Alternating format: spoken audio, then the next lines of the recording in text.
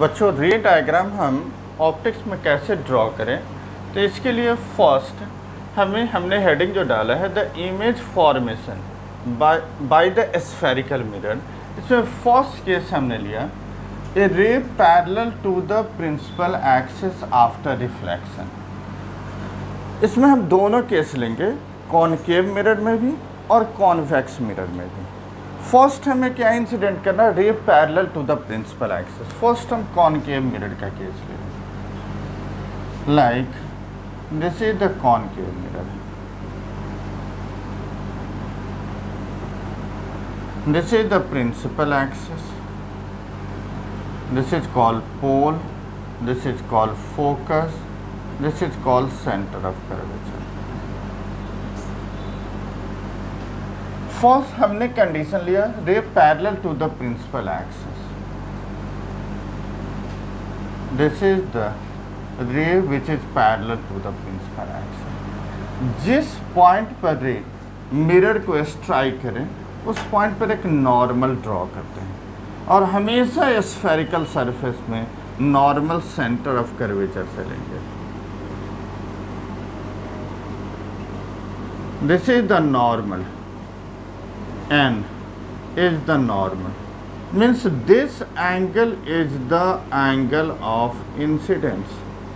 Means normal और incident ray के बीच के जो एंगल फॉर्म होगा this is called angle of incident after reflection जितनी एंगल ऑफ़ इंसिडेंस है, उतनी ही एंगल ऑफ़ रिफ्लेक्शन है। तो सेम एंगल ऑफ़ रिफ्लेक्शन अगर हम ड्रॉ करें तो रे जिस पॉइंट से आकर पास करेंगे सेम एंगल ऑफ़ रिफ्लेक्शन में light after reflection principal axis को जिस पॉइंट पर कट करेंगे this is called focus means this angle I इसके इक्वल अगर एंगल आर पर हम एक रे को ड्रॉ करें तो प्रिंसिपल एक्सिस को जिस पॉइंट पर कट करेंगे this is called focus means angle of incidence angle of reflection ये कॉनकेव मिरर में? जब ray parallel to the principal axis है। अगर हम इसी में कॉन्वेक्स मिरर लेते हैं। सेकेंड कंडीशन है convex mirror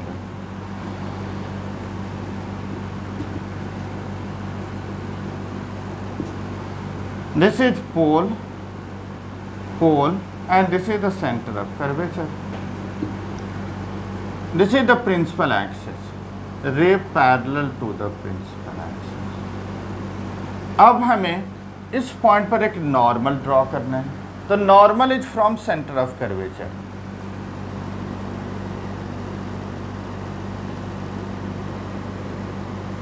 this is the normal. Means this angle is the angle of incidence. अब इतने ही एंगल ऑफ़ रिफ्लेक्शन अगर हम ड्रॉ करते हैं सेम एंगल ऑफ़ रिफ्लेक्शन अगर हम ड्रॉ तो लाइट प्रिंसिपल एक्सेस के जिस पॉइंट पर कट करें this is the focus means this angle is the angle of reflection second condition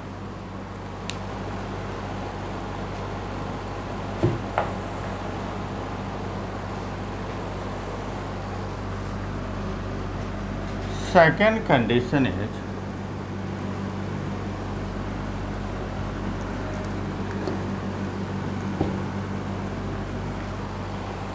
a ray passing through the principal focus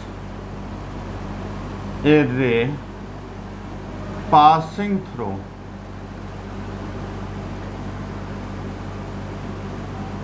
the principal focus.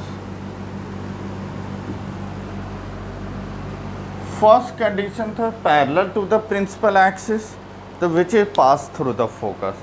Second condition में अगर passing through passing through the principal focus concave mirror this is the concave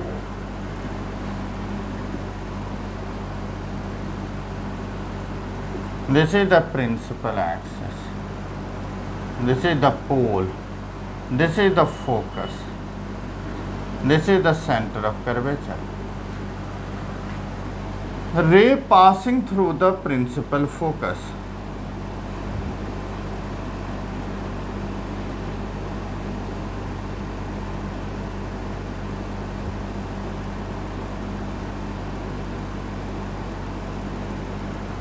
अब इस point पर एक normal draw करो। This is the normal means this angle is the angle of incidence same angle of reflection अगर draw करेंगे तो ray parallel to the principal axis this angle I के equal angle are normal से draw करें।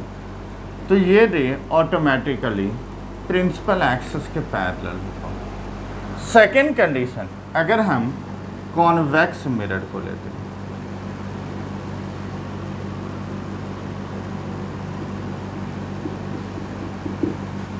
This is the principal axis and this is pole focus centre of curvature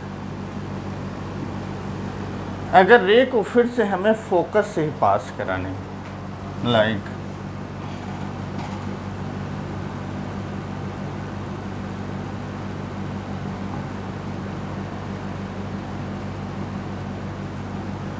अब इस point पर एक नॉर्मल ड्रॉ करेंगे। फ्रॉम सेंटर ऑफ़ कर्वेचर एक normal draw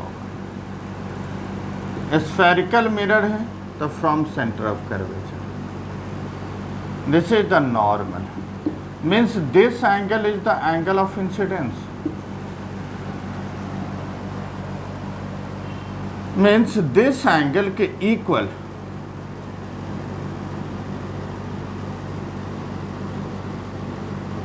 अगर एंगल आर हम ड्रॉ करें नॉर्मल से तो this ray is also parallel to the principal axis this is the second condition अगर हमारा फ़र्स्ट कंडीशन में था, रे अगर फोकस से पास कर रहे हैं, फ़र्स्ट कंडीशन में ray parallel to the principal axes which pass through the focus.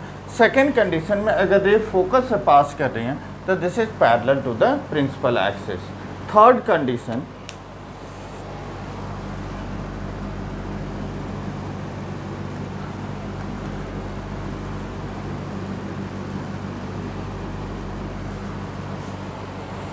the ray passing through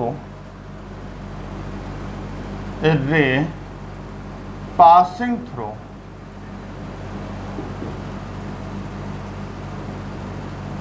the centre of curvature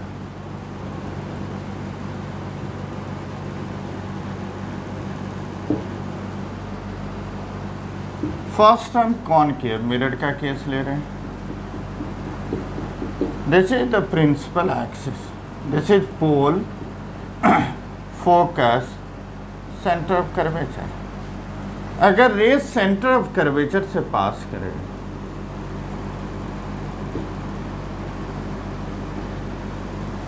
अगर हम इस पॉइंट से, हम सेंटर ऑफ़ कर्वेचर से नॉर्मल को भी पास कराते हैं, और रे को भी उसी पॉइंट से पास करा रहे हैं, इसका मतलब ये नॉर्मल के साथ ये पैरेलल है।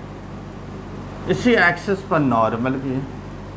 तो parallel to the normal this angle is 90 degree अगर ये नॉर्मल के पैरेलल है तो ये रिफ्लेक्ट बैक भी सेम पाथ में होगा। मीन्स ये अपने पास से डेविएट नहीं होगा।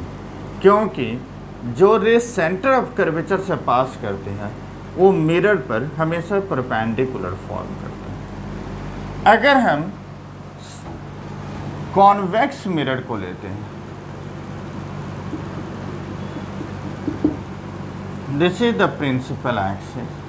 This is the pole. Focus. Center of curvature.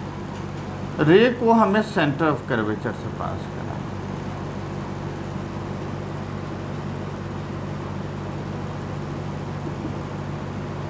Centre of curvature से जो रे पास करेगा, और रिफ्लेक्ट बैक भी सेम पाथ में होगा, क्योंकि नॉर्मल के पैरेलल होगा। तो सेम पाथ में ये अपने पाथ से डेविएट नहीं करेगी। नेक्स्ट कंडीशन एक लेंगे। Ray incident obliquely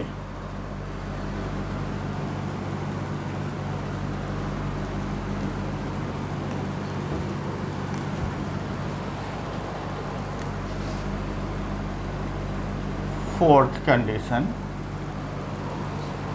a ray incident.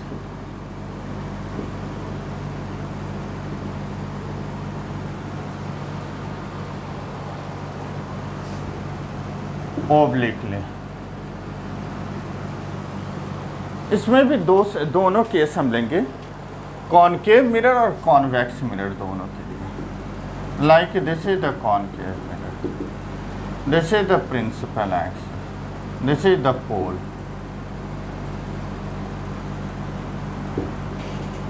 incident ray क्योंकि जिस पॉइंट पर लाइट इंसिडेंट हो रही है सेंटर ऑफ़ कर्वेचर से उस पॉइंट पर एक नॉर्मल ड्रॉ करते हैं। मीन्स यहाँ principal axis is the normal means this angle is the angle of incidence the same angle of reflection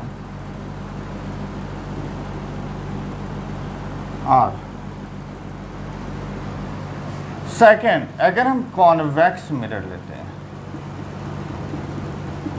this is the principal axis this is the pole light यहाँ normally incident obliquely incident करा रहे हैं। This is the normal the line which is passing through the centre of curvature and the point of incidence this is the normal.